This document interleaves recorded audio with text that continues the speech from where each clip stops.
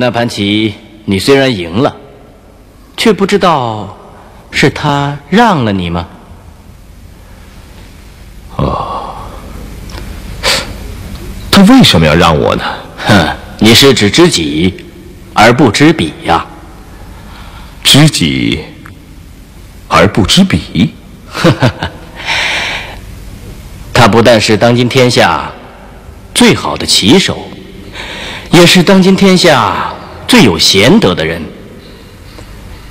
他连到手的王位都可以让给兄长，又怎么会同一个后生去争一盘棋局的输赢呢？难道他就是？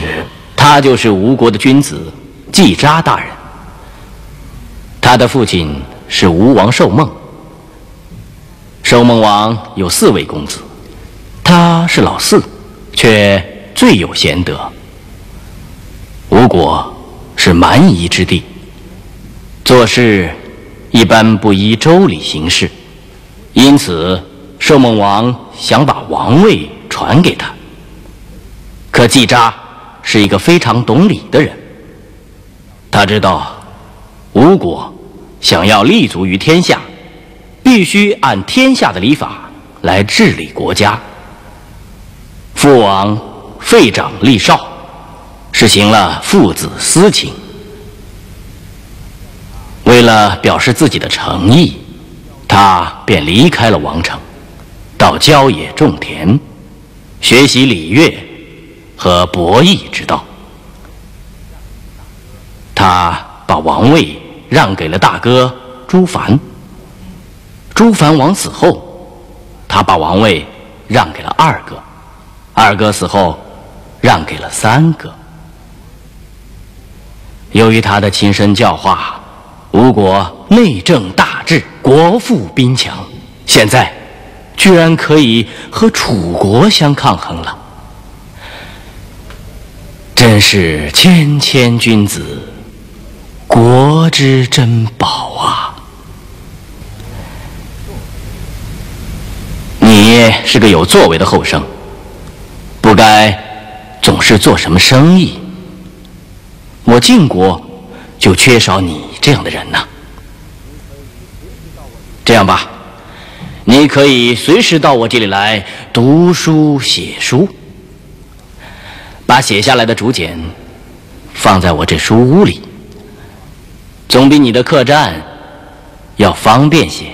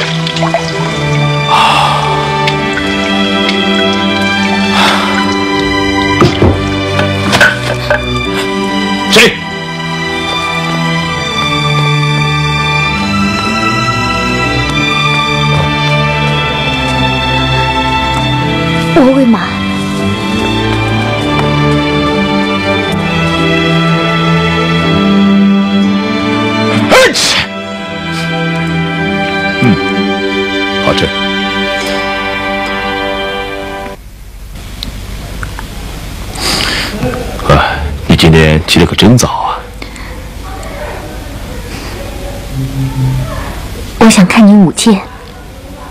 今天你都看见了？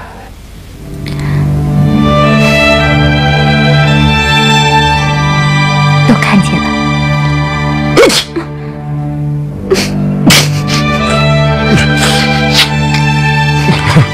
我这人啊，从来不着凉。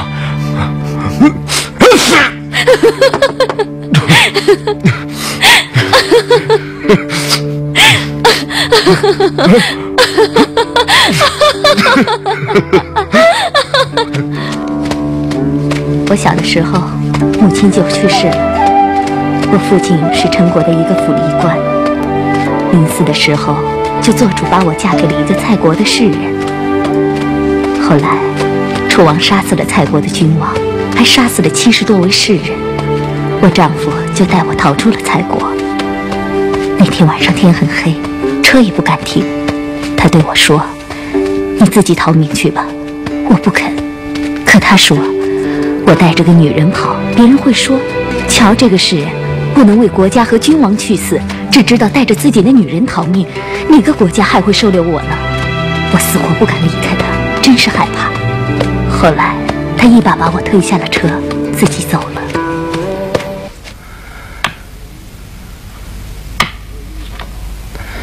对弈者要想不败，必须追随造化和运转。世人所用的棋盘。都是十三路的棋盘，因为一年十二个月，加上闰月，这十三就是天数了。其实不然，棋局的变化如同天地的变化，天有日月阴阳，棋有黑白二字，年有四季，这棋盘。有中原和四角，如果加上四季之数，这棋盘就应该成为十七路了。这么大的棋盘，如果再加上阴阳之术，这棋盘，你看。就变成十九路了。十九路，这一纵一横就是一个阴阳的变化，可算一日。这盘上共有三百六十一点，可算三百六十一日，就是一年。正是天数所在。我日常就在这方大的棋盘上演化棋局的，怪不得算路这么深。长青，长青，哎，啊，孙武呢？吃了饭又出去了。去哪儿了？呃，说是去找那个吴国的闲人。哎呀，他准是又去下棋了。那市口两车货得有人守着呀。啊，那我去。这货。哎呀，这，那你快去，我吃了饭就去接替你啊！哎，吃口那边那边。哎，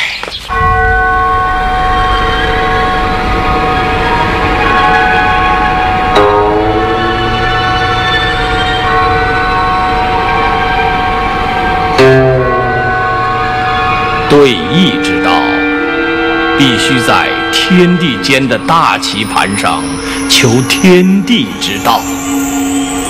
天地之道，都在一个“变”字。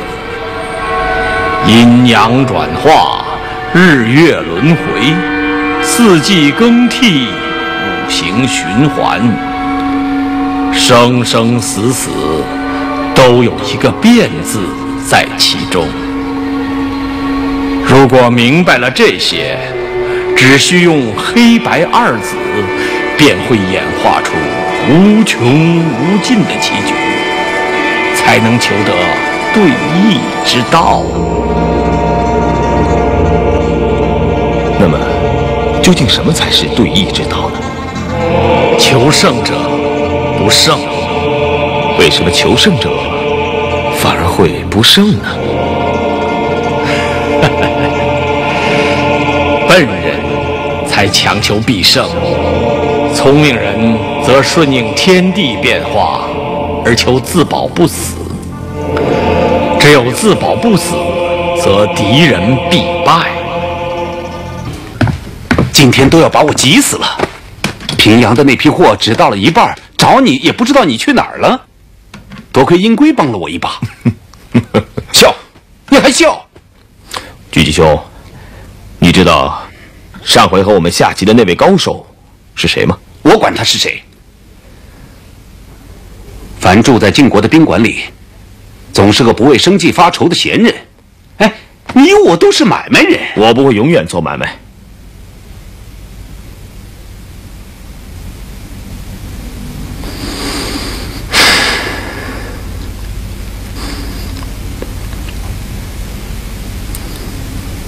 好了，不说了。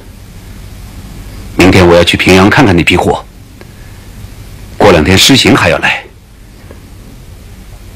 你照顾他一些买卖，我怕十天半月回不来。你放心去就是了。那位高手可是吴国的贤人，季札大人。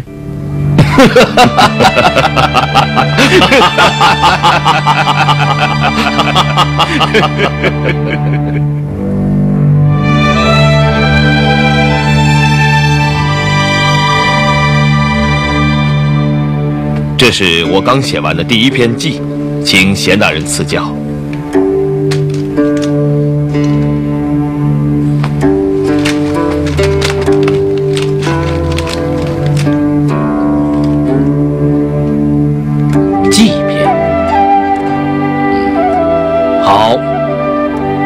凡是兵家谋略，最先出自计算之道。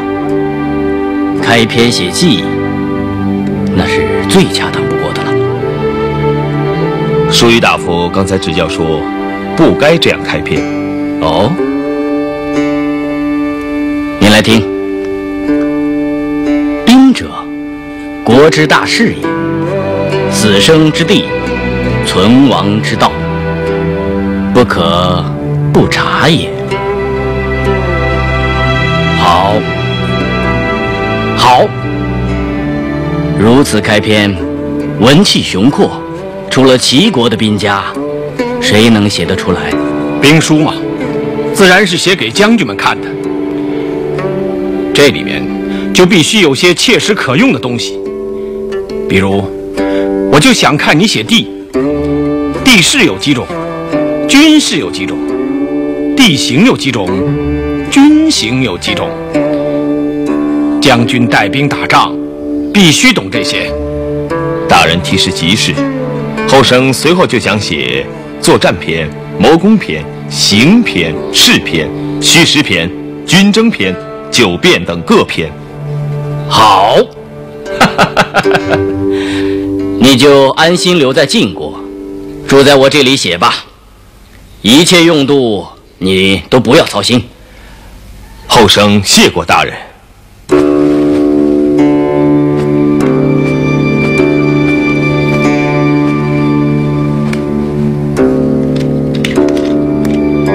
给，你看看这个白锦行不行？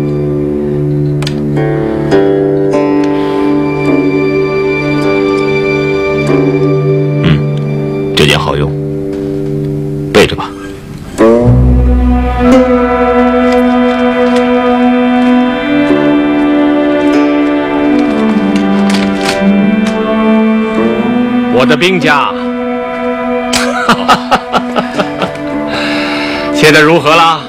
疏于大夫，大人，哦，这位是我买的仆人，事儿多的时候就叫他来伺候。兵家所用的女仆，竟是一派风流啊！长青，你孤身在外，遇到这么好的美人儿，为什么不收做妾室啊？这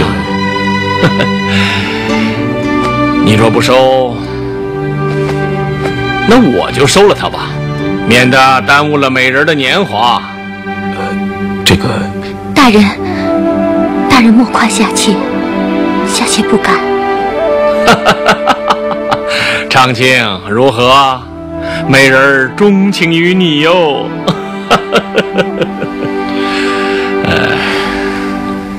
金贵，把所有写完的地形拿给大人看。是，对，对，写的新篇快拿给我看看。啊！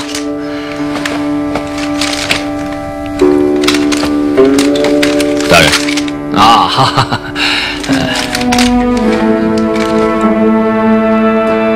地形篇，好，这个篇名很好。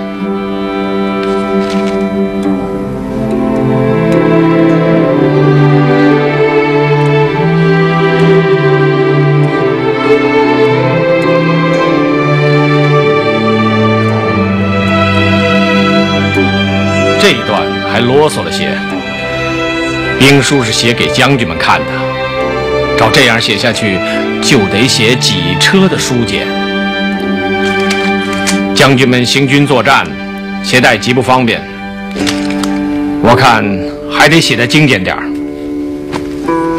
书玉大人，书相大人叫你去。知道了，我就来。这片地形，我回头再看看。啊，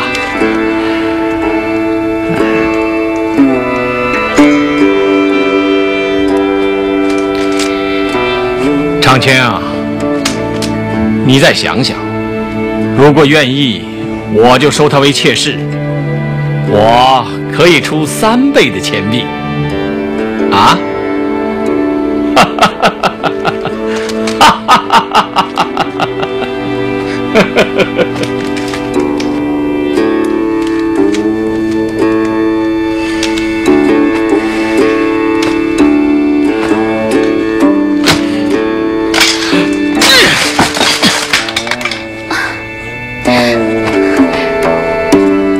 随口说说的，我求求你了，我求求你别这样好吗？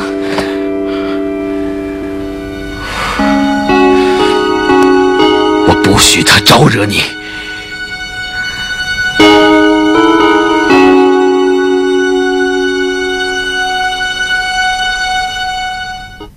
哎，孙武的兵书写得如何了？哦，已经有计、谋攻、作战、军争、地形五篇了。他写完以后，你打算怎么办？割了他的舌头，断了他的手指，总之使他不能传授兵法就成。在晋国六卿八大夫里，还有谁知道孙武在我们杨蛇家？怕只有韩启大夫一个人。不过孙武是个不知名的小人物，不会有人知道他。就是有人问起来，只要说不知去向，我看没有一个人会认真查访这件事情吧。嗯必须保证兵书到手，其他的都好说。是。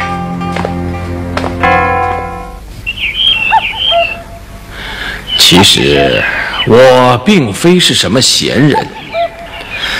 当初父王去世的时候，我还年轻，只喜欢礼乐还有对弈。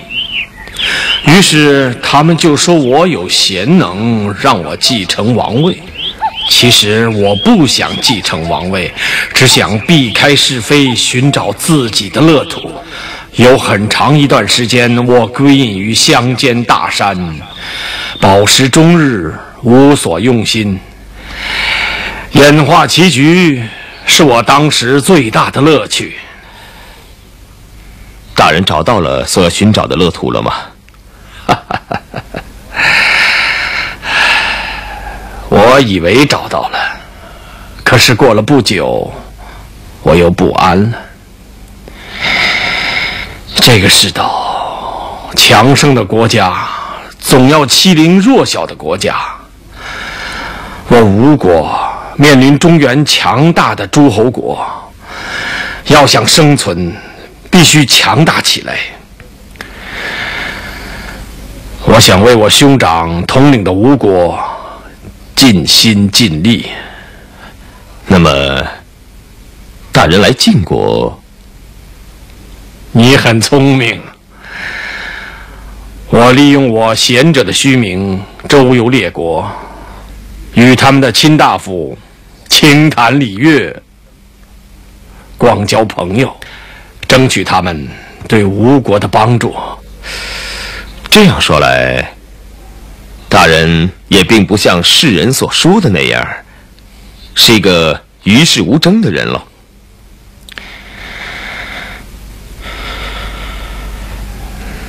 这个世上，不争则亡啊！如果我要做将军，去哪个国家好呢？作为吴国人，我希望吴国有天下最好的将军。我有一种预感，你是一个有可能在吴国成就大功的人。当今天下，齐国和晋国的国政都渐渐落到卿大夫手中，内乱不止，祸乱风起。楚国虽大，王室内争杀不休。楚平王夺子之妻，逼走太子建，国势越来越衰弱。秦国则对中原诸侯鞭长莫及，唯有我们吴国国政清明，更无大族争斗之患。这不是个有作为的国家吗？你是吴国人，当然要替吴国说话了。那当然，很久没有这样痛快的说话了。我喜欢你，我也很敬重大人。我明天就要回吴国了，知道你很喜欢读书，这是送给你的。谢大人。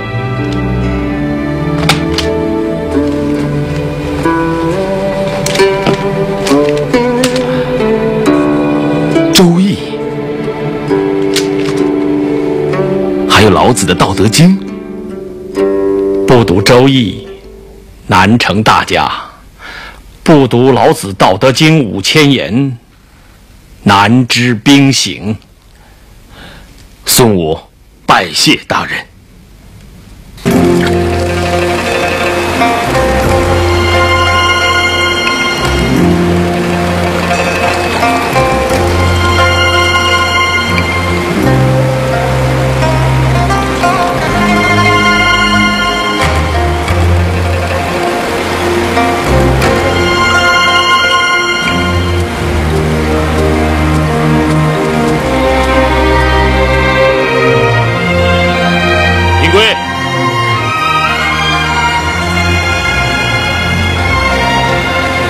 银贵，又在刷马啊！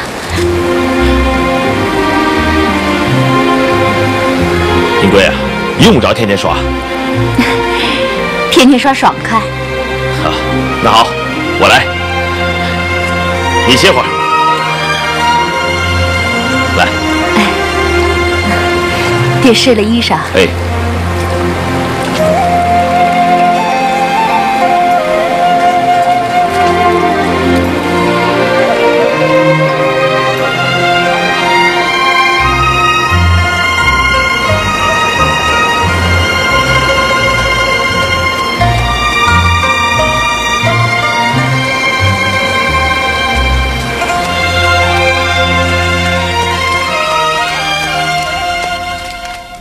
鞠继秋，那位施行朋友到底是你的什么人？你把那么多财物交给他，也不怕他卷跑了，一去不归吗？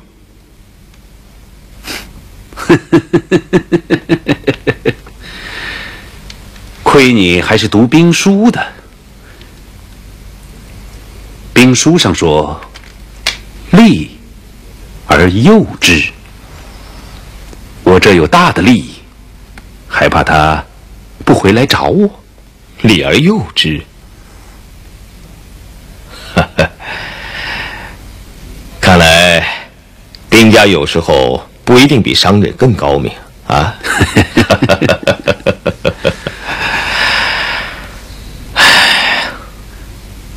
我们俩离开楚国三年多了，也不知道子虚兄怎么样了。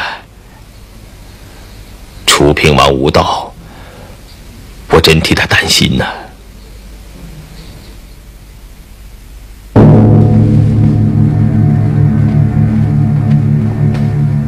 你等我换你。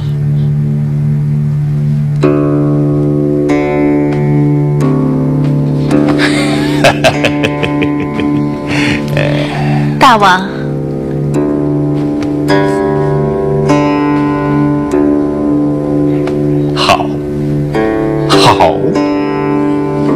鼻子、嘴多像寡人呢，有楚国人之雄风。这眉眼倒是像你，有秦国人之骄豪。好，便宜，一个如此招人疼爱的小公子啊！大王，他招你疼爱吗？哎，谁见了真儿能不疼爱呀、啊？大王若是疼爱真儿，为什么不立他为太子？大王说过要立真儿为太子的。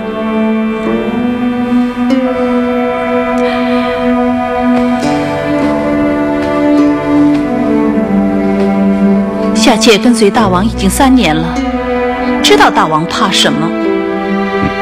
你不要瞎说。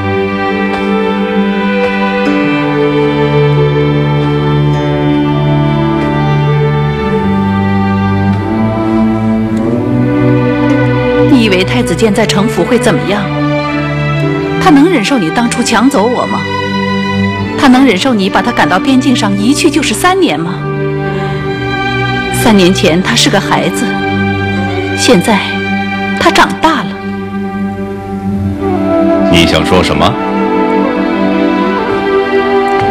少师，在，你进来。是。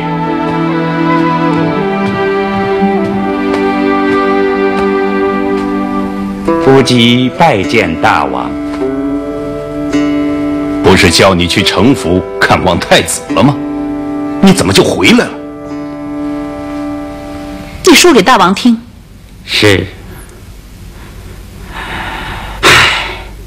这次下臣一到城府，就叫太子给捆上了。太子问我是不是大王要废了他，立公子真为太子？我说没这事儿。可他不信。武奢太师也说我欺骗他们，他们还说与晋国已经约好，以城府一万人为内应，攻打楚国，谋杀大王。事成之后，太子做楚王。为报答晋国，太子还应允每年要给晋国三百乘车的供奉呢。哦，竟有此事？那你是怎么逃回来的？夏臣无奈，只好假意答应与他们共谋，先回来做准备，为他们攻打郢城，在宫中做内奸，这样下臣才逃回来了。什么？竟敢谋反！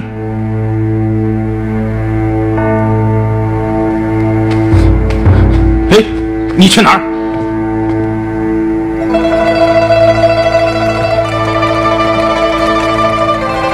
本要大王立真儿为太子，可大王一再犹豫。如今太子真的要谋反，我又不忍心让大王诛杀太子。太子和真儿，反正在楚国已经是势不两立，我还是带着真儿早些回秦国逃命的好。好了好了，不要说了，寡人必治其罪。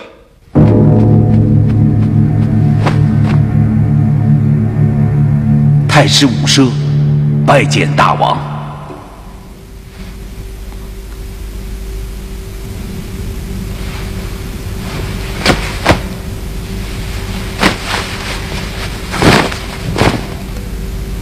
太师，你知道寡人为何火速将你从城府招回来吗？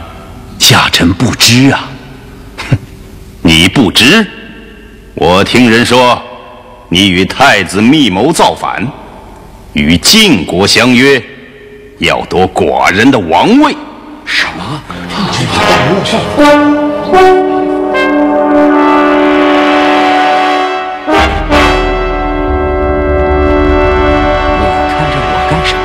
大王都知道，什么事大王都知道了。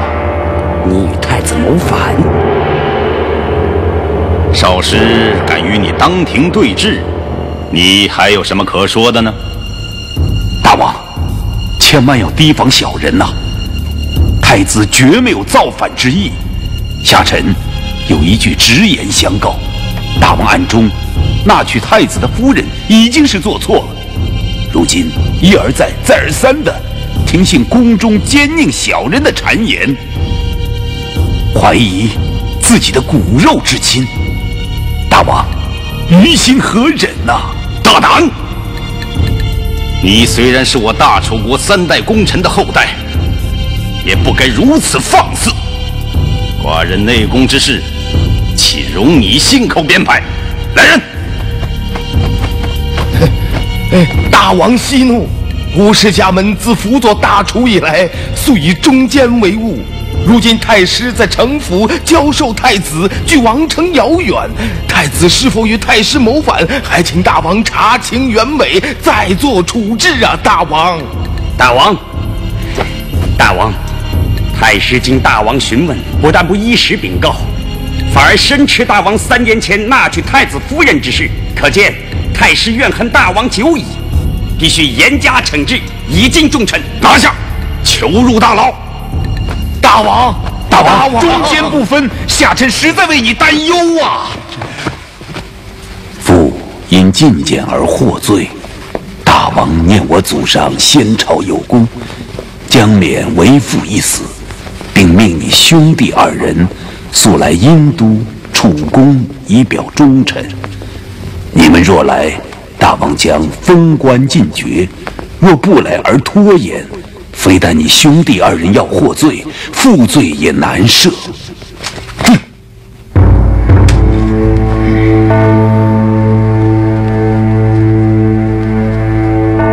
兄弟，这是父亲的手术，我们赶紧回殷都城吧。兄长，你好糊涂啊！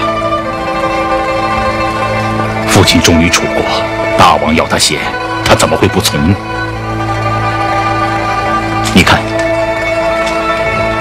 信上说，如若我们兄弟二人同时回去，不但父亲可以得救，大王还要加封我们，这可信吗？这一定是少师费无忌出的奸计，诱我兄弟二人回银都，斩尽杀绝。万一父亲写在上面的都是真钱，这不是失去了解救父亲的唯一机会吗？兄长，你怎么还不明白？太子建已经逃到了宋国，父亲是他的太师，一定获罪不小。大王是怕我们兄弟造反，闹出乱子，所以才逼父亲写这封信，诱我们兄弟二人回去。如果救不下父亲，能见上一面，也算值得。好，如果兄长非要去，那你就去吧。反正我是不会去送死的。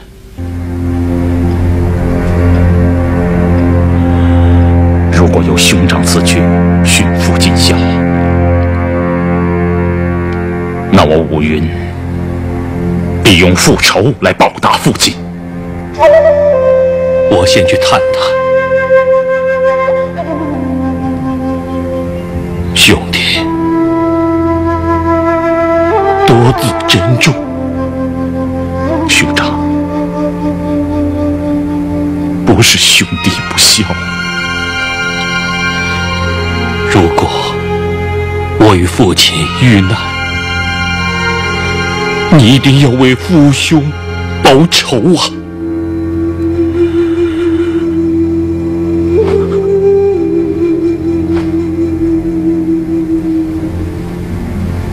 Ee,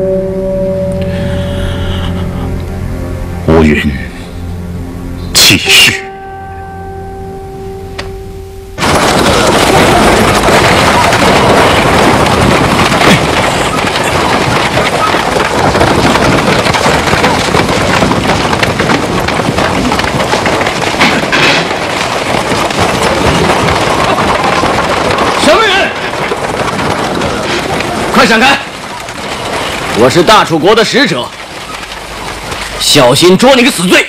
是我呀，你不认识我了吗？伍子胥，子胥兄，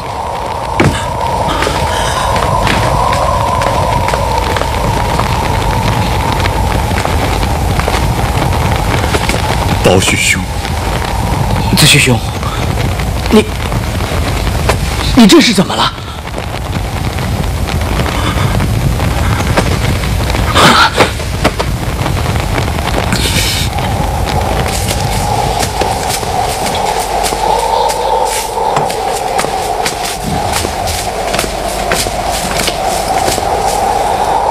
原来是这样。那么，你现在打算去什么地方呢？只要哪位诸侯能为我报仇，我就投奔哪里。我真想嚼了楚王的肉，扯裂了费无极那个混蛋。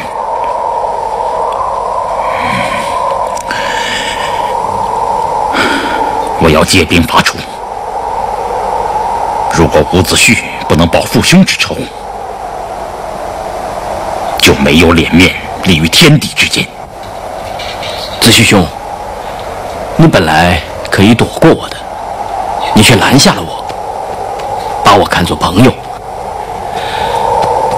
作为楚臣，我该捉你问罪，但是作为朋友，我又只能放你走。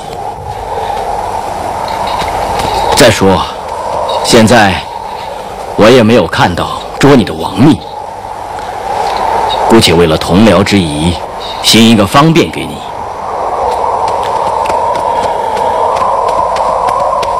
包胥兄知我之恩，子胥永世不忘。不过，我要告诉你，如果有一天你能颠覆楚国，那我就能复兴楚国。来，干一杯作别。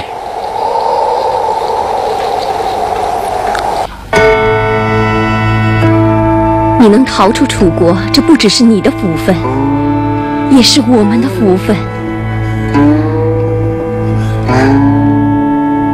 自打从楚国出来，先到宋国，可正逢宋国闹乱子，待不住，又只好投奔郑国。可郑国是楚国的属国。郑国的国君总是害怕楚国，表面上对太子周到的很，可暗地里却派人看着我们。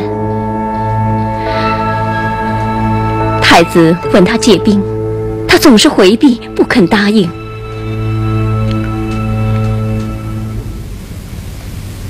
夫人不必过于悲伤。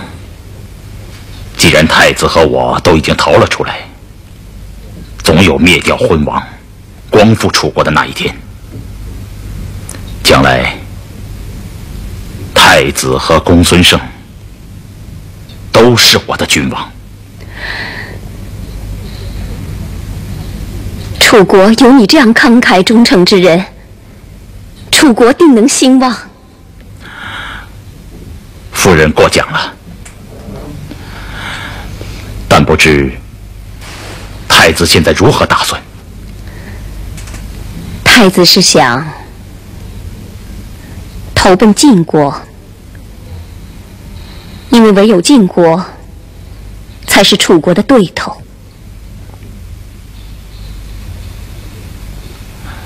太子如果这样打算，那就应该早日离开郑国，不然郑国国君万一……夫人，夫人，什么大人？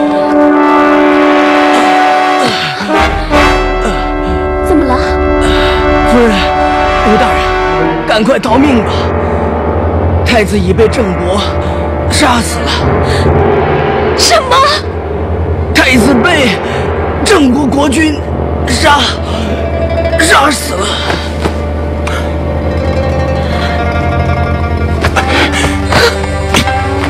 这到底是怎么回事？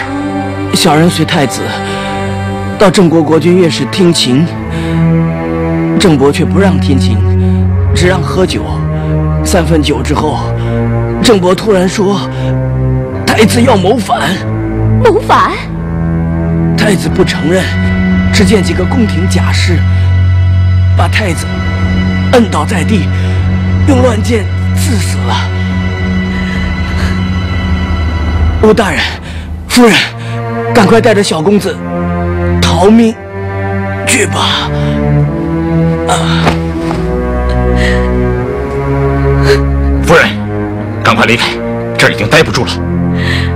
太子这一去，剩下我们母子该怎么办呢？现在不是哭的时候，再哭就走不脱了。夫人，快走！母亲，快走！武大人，武大人，刚才你说圣儿就是你的君王，只要公子坐上王位，就是我的君王。那好。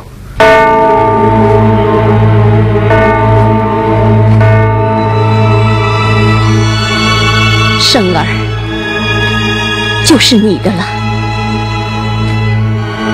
你就是他的太师，他的令尹，他的父亲。